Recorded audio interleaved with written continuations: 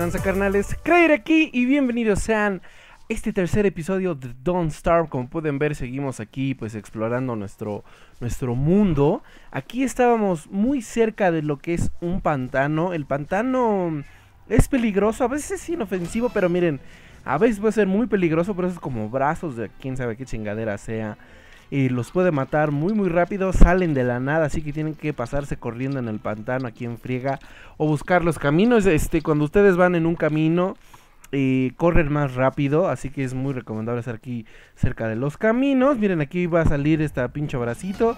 Tienen que ponerse muy al tiro. Y este como que cambió la textura, el morado es más fuerte. Eso es un camino y pueden caminar más rápido y pues eh, totalmente seguros.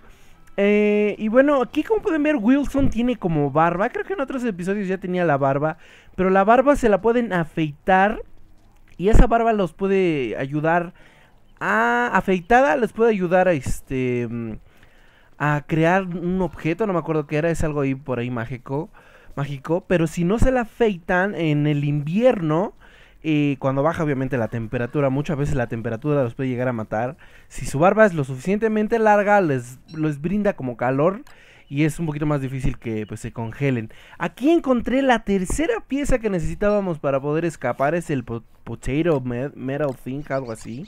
No me acuerdo, pero ya teníamos tres, solamente nos faltaba una más para poder escapar de aquí.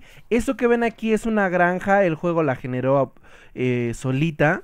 Así que pues no hay mucho problema en lo que si es que gustan ustedes hacer otra granja, pues este la la hacen y ya. Aquí en la noche pues tuve que pasar la noche por aquí, no sé si leyeron, si alcanzaron a leer que Wilson dijo, "Did you hear that?"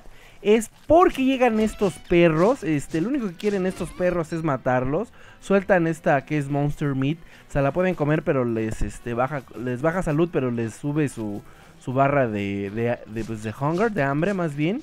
Este, y los tienen que matar, a veces llegan de uno, de dos, a veces llegan de cinco. Eh, y pues se rifan el físico, se rifan el físico. O si encuentran abejas asesinas que son como rojas, esas las pueden conducir hacia los perros y se pelean entre sí. O con las arañas. Y pues ya se pueden escapar. Y aquí encontramos la cuarta pieza eh, que ya teníamos todas, que es la Box Thing. Entonces ya tenemos el Ring Thing, el Crack Thing, el Metal Potato Thing y el, la Box Thing. Aquí nos encontramos como un gnomo. Ese gnomo se lo pueden eh, igual cambiar al este. No tiene otra función más que cambiárselo con el, con el cerdo rey y les da, ya saben que les da este pues nuggets. Aquí creamos el alchemy este, no me acuerdo cómo se llama. Este, pero esta es como la versión mejorada de la Science Machine. Necesitan primero hacer una Science Machine para poder crear el Alchemy Engine, así se llama. Y pueden crear eh, todavía cosas más elaboradas, pueden crear cosas este, mágicas y armaduras un poquito más elaboradas con Marble lo pueden este pueden crear su armadura de Marble que es casi indestructible pero se mueve más lento. Aquí creamos una cuerda y por ahí pues eh, encontré el cadáver de un puerco muerto y suelta como esta como una colita. Y pueden craftear esto que es como un este pues un casco de basquetbol de futbolista perdón de fútbol americano eh, y esto les, les da una protección de 80%. Está muy, muy chingona. A la hora de que se vayan a rifar un tiro, este... Esto que es, pues, este casco les va a salvar la vida a casi todos los, este...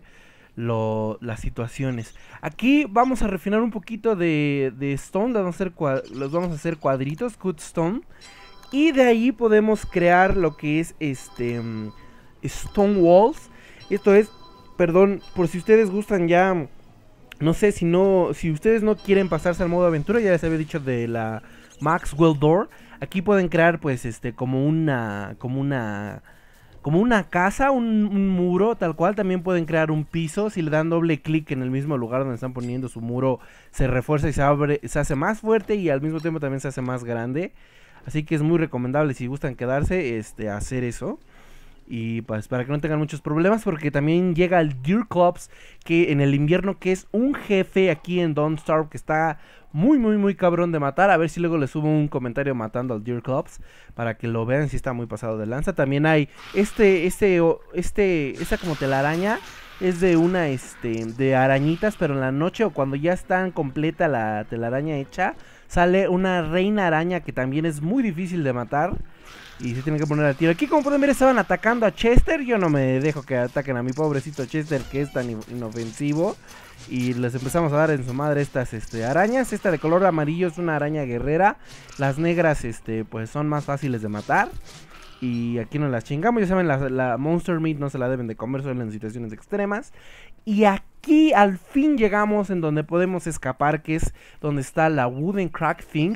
Pero estos enemigos que están aquí son muy poderosos, tienen que tener muchas herramientas y una buena este, armadura para poder hacerles frente. Carnales, en el siguiente episodio ya este, les mostraré cómo escapar de aquí, eh, ya con las cuatro piezas. Espero que hayan disfrutado este comentario de Don't Starve y nos vemos después.